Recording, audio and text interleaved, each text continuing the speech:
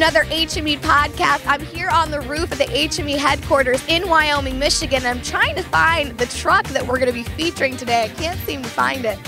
Oh, here it comes. Well, I'm going to go down there and check it out. I'll be down there in a minute. Wow, that was an awesome ride. Well, now I'm standing, actually sitting on the H- HME aerial with a 75 foot three section rear mount aerial. It's built on a custom Spectre chassis with a single tandem rear wheel drive and a 500 horsepower engine.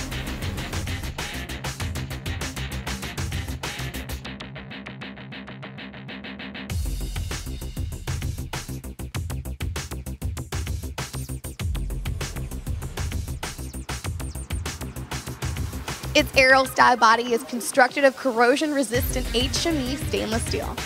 And inside the cab, there are positions for a crew of up to 10.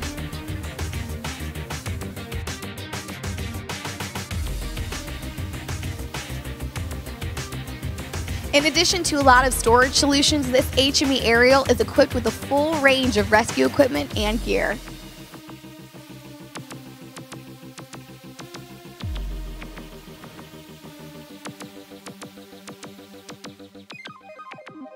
There are two rear outriggers and soft touch controls.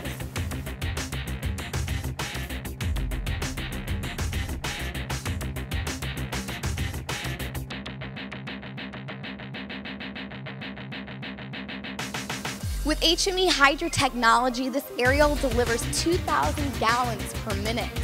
Well, that's all we have for now, and thanks for joining us and taking a closer look at this 78-foot HME aerial. If you'd like more information on this truck, just go to www.firetrucks.com. With HME, I'm Stephanie Weinstein.